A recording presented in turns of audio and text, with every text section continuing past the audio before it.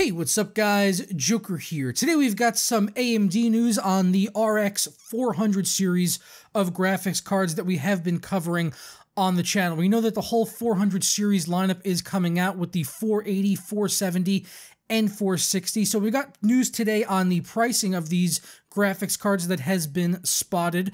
Uh, we also got uh, the full specs of the RX 480, which was released by AMD, and we've also got an initial look at some performance benchmarks on the RX 470. So starting off with the 480 and the specs of that, if you remember back when that was announced, we only got a limited amount of specs on the card. We didn't know the uh, you know the clock rate and things like that. You know how many stream processors were going to be on the card.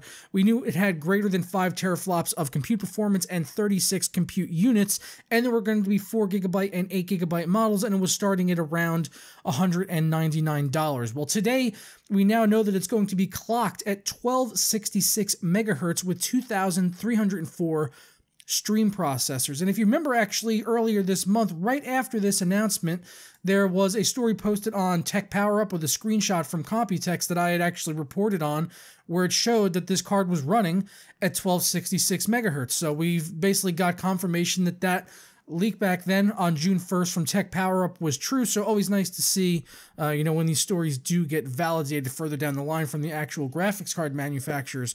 So AMD, you know, the RX 480 going to be shipping at 1266 megahertz. What do you guys think about the specs on this card? Uh, you know, let me know down in the comments below. I'm I'm actually planning to pick up two of them. I think I'm the the the pricing on the 480. I think is just going to be so damn competitive that it's uh, you know it'd be it would be stupid not to pick them up as a system builder. That's really why I'm like so excited about this launch.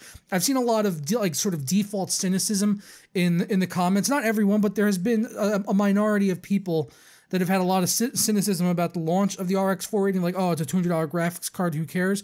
Well, for me, I can at least tell you why I care. As a system builder, it's it's exciting to be able to uh, you know, have affordable more more options that are affordable, and not only that, but then the prices of the other cards get driven down substantially, not only on uh, the used market but the new market as well.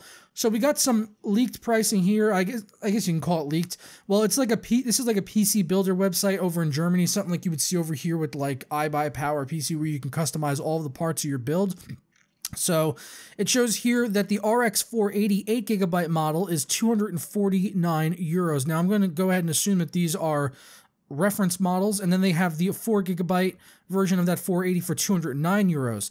This also rounds up with the 470, which is 149 euros, and the 460 2 gigabyte card at 79 euros, which would be insanely low. You know, that is, that is more of the uh, the esports card, but you know, based on you know, I, I would think that card should still be able to handle some some light 1080p gaming.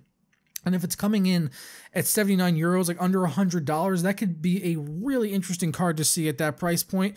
And the 480, once again, you know, uh, just around like $200, $250 for the 8 gigabyte version, which is what some people had been speculating about. And for me, I would definitely be a buyer at the 8 gigabyte model at $250. That'd be about what I'd want to spend and get like two of those guys and, you know, lace them up in Crossfire and see what they can do when we let them out and run. Okay, so following that up, though, we've also got a benchmark here.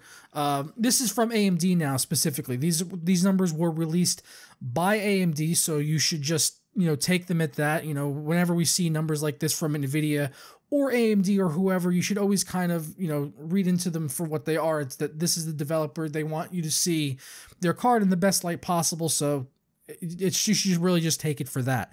So on this here, they did do a test on Hitman. You could see 1080p running at high. They compared the 470 to the 270X, and it shows the 470 getting 60 FPS, I'm assuming locked, versus 28 FPS on the 270X. And we also have Overwatch on here with the RX 470 pulling in an average of 121 FPS versus 76 FPS of the 270X, which is really impressive at max settings on 1080p considering I just benchmarked the R7 370, which is around $150, and that was only able to get 122 FPS, but that was at medium. So now doing that at max settings is just a massive improvement on a card that is around the same exact price point.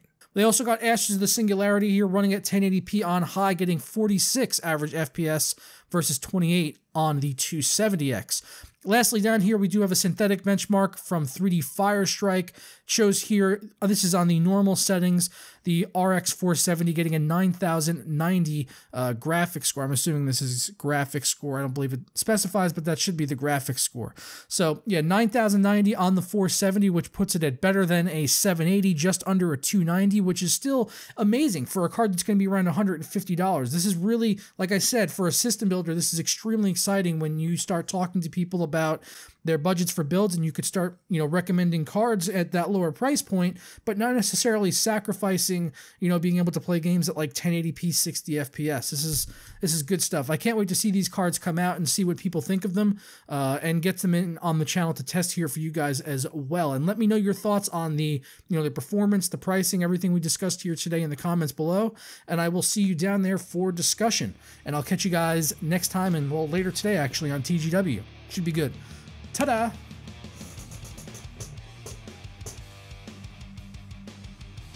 Make AMD great again.